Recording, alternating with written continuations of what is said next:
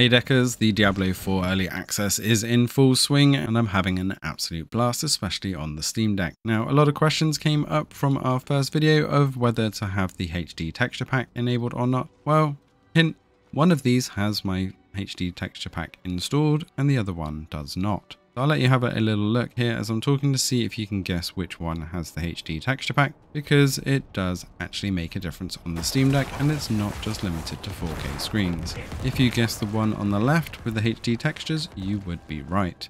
It looks so much better even on the Steam Deck screen. Just having this also seems to reduce some of the stutter in the game. It just seems to feel a bit smoother. I don't know if that's because it's got some kind of shader pre-built built in with those HD textures or not but it did just feel smoother.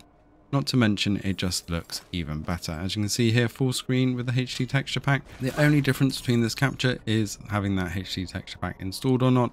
All of the settings are exactly the same as our recommended settings from the early access gameplay, which I'll link in the description below as well if you want to hop over and see that. But as we go over to the non-HD texture pack, you'll want to pay attention to those frame times as well, as well as the wattage, bouncing between 15 and 17 watts in the outside world for the most part here with the HD texture pack. And when we switch over to the non-HD texture pack, again, we're sitting around the same range. The frames per second are still sitting at 40 frames per second solid, but it doesn't look as nice. Now, it does still look good, don't get me wrong. It does still look and play fantastic without the HD texture pack. So if you want to save that 40 gig, yes, it is 40 gig extra. If you do want to have those HD textures, but I do feel that it makes the game look much better and actually perform a little bit better as well. As we bring them back side by side with a lot of stuff going on, it does just feel so much better with the HD texture pack and the wattage is pretty much the same.